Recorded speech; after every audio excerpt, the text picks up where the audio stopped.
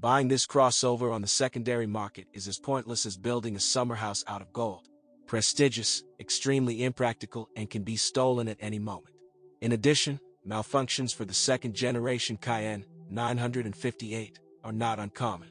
But in our case, they are much more expensive. They buy such cars only with their hearts, since there are practically no reasonable arguments for a used Cayenne. With this beauty in the garage, you will never know how you can save on parts, maintenance, and taxes. According to the experience of the owners, a crossover with a 4.8-liter gasoline V8, given the routine maintenance, fuel and maintenance costs, will require a budget of up to 100,000 rubles a month. Are you sure that a VIP taxi will cost more? But the only thing you are sure to become proficient in is choosing and connecting various security systems. Start cutting professionally, we guarantee. In addition, learn how to persuade insurers to still insure your car and yet the second generation turned out to be noticeably more reliable than the first. This applies not only to improved engines, transmission, and electronics, but also to the air suspension. About everything, however, in order. When buying a car on the secondary market, only a madman will chase the top versions of the S and Turbo S. Such cars are not bought for trips to a children's party, which means that the engine with the gearbox will probably be worn out. Specialists will be able to verify this through endoscopy of the cylinders. We do not recommend neglecting this. Gasoline V8s still have not got rid of their main misfortune, badass. So it makes sense to buy a used Cayenne with a V8 already sleeved. Well, or set aside 300 to 350,000 rubles in advance for future cylinder repairs.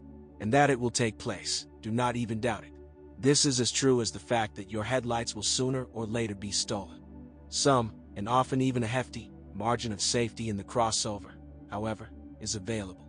If you service engines and automatic machines in time, Aisin for diesels and Tiptronic for gasoline versions, monitor the oil every thousand kilometers. Although it's not customary with us, keep an eye on the fastening of the phase shifter bolts, which strive after 70,000 kilometers to crumble into the engine crankcase. Avoid cold starts at temperatures below 20 degrees below zero. Then everything can and will cost a little blood. The car is capable of walking several hundred thousand kilometers without major repairs, although it is not very clear what is considered serious. Replacing a bent disc with a torn tire with installation work will cost 130,000 rubles. But, again, efficiency is not about the Cayenne. In the city, even with unhurried movement, you will easily drink 25 liters of 98th gasoline per 100 kilometers. And in this sense, 3.6-liter V6 will definitely be the best choice on the secondary market, and the 3.0-liter diesel is better, falling under the 250 horsepower tax amnesty bar. Volumetric Vygovsky diesel engines, by the way, do a good job with our wretched solarium and are quite reliable. In addition, there are more than enough of them on the market.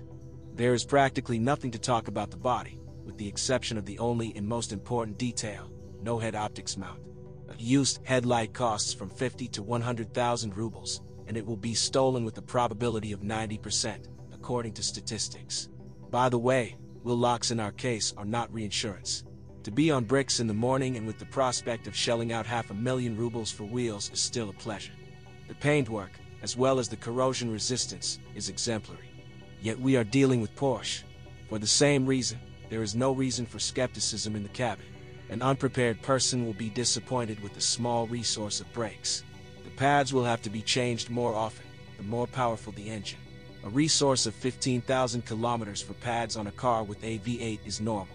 And with pads, once every 30,000 kilometers, you will have to change the discs. Replacing the brakes in a circle will cost 150,000, no less. And the rest of the prices will not seem a little.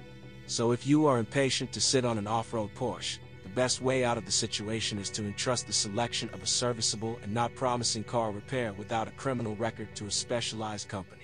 An independent trip to the seller, except to look and find out if the seller is a dealer, will not give you anything. And in terms of modifications, we advise you to be more modest, paying attention to diesels or gasoline V6. Suspension. Body position sensors stick in the air suspension. The cost of a new compressor is about 60,000 rubles you will have to pay more than 100,000 rubles for the steering rack. Stabilizer bushings run 30,000 kilometers, rack stabilizers a little more. Silent blocks of levers and ball bearings will work out up to 100,000 kilometers. Transmission. The most common problem is a defective transfer case. It is not difficult to determine the illness of the handout. It is evidenced by jerky acceleration or just jerks in the absence of gear shifting. The problem manifests itself in 3 to 4 gears and a low speed of 30 to 50 km/h. The solution to the problem is only a replacement assembly. Engine. The most reliable engine mechanics call 3.8 V6. They also recommend staying away from the hybrid version. For 4.8 V8 engines, it happens that the pipes of the cooling system burst, and the antifreeze can go completely. The cause of the leak can also be a bursting expansion tank. The cost of a nozzle for a TDI diesel engine is 18,000 rubles. Body. The main claims to the body are the cost of its parts when recovering from accidents. Hood, 36,000. Front fender, 12,000. Fifth door under the Russian number, 25,000. Shock absorbers of the fifth door often fail from moisture and condensate. It seems to be a trifle, but replacing them with new ones will require 30,000 rubles. Electrician. The transmission sins with electronic errors. In the air suspension, the contacts and mechanism of the lever position sensors are vulnerable. Sometimes power windows work spontaneously. It happens that the key fob is buggy, but more often the keyless access system fails. There are problems with the incorrect operation of various control units.